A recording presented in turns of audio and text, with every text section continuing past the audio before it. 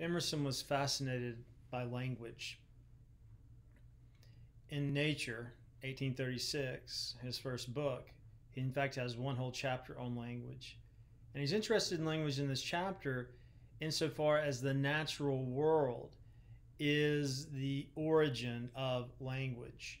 Meaning that if I have a thought, which of course is in my interior, I need to find a way to make it exterior. Well, how do I do that?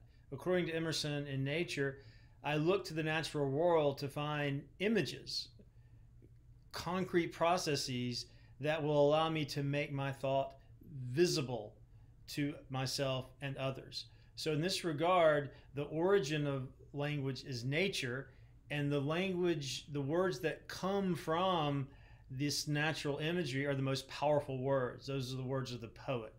Emerson is very interested in nature in words that are highly particular, concrete.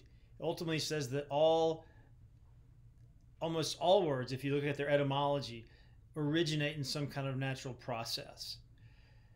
So he goes on to say in that essay that language ultimately is a mirror. It allows us to mirror back to ourselves concretely our own thoughts.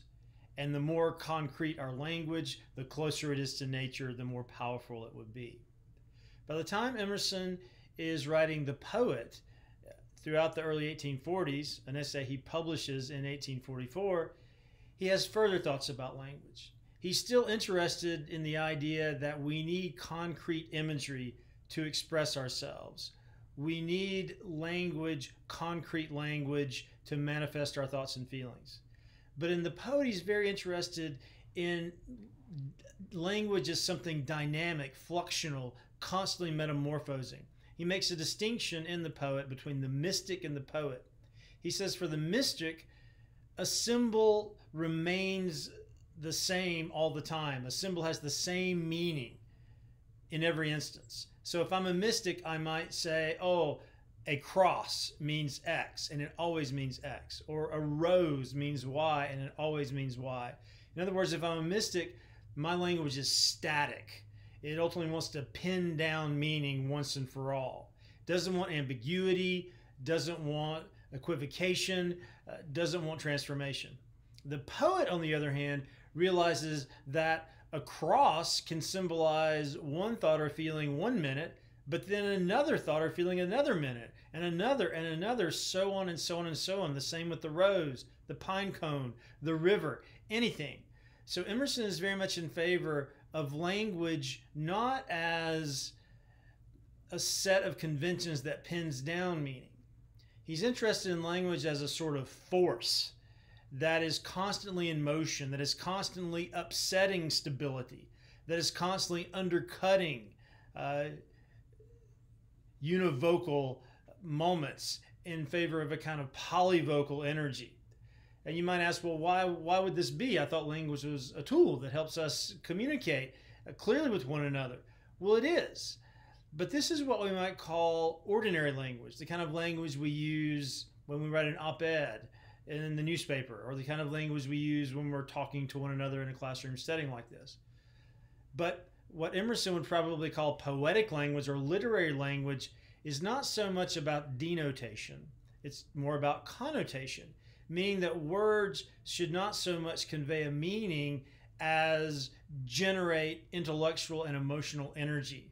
So for me to read an Emerson passage in which a word means one thing at the beginning of the passage, but something entirely different at the end of the passage, what's he done? Emerson has ripped that word away from a traditional definition and given it all sorts of new definitions, which of course challenge me to rethink not only my understanding of that word, but also why I have tended to put that word with the definition I've put it with all these many years. So Emerson is unmooring words, he's dislocating words, he's ripping words out of traditional context. And this ultimately puts a lot of onus on the reader in reading his work, to move with him and to be open to defining words in new ways ourselves as he defines words in new ways in the essay. This is why Emerson in the American Scholar says there's creative reading as well as creative writing.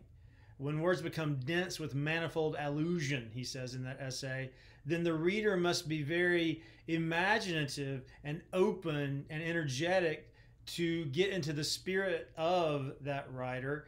And ultimately, I create my own meanings um, in reading Emerson because his essays invite that kind of active interpretation. When you get to the end of an Emerson essay, there's not a sense of a, a bow tying everything up nice and neat and you're done.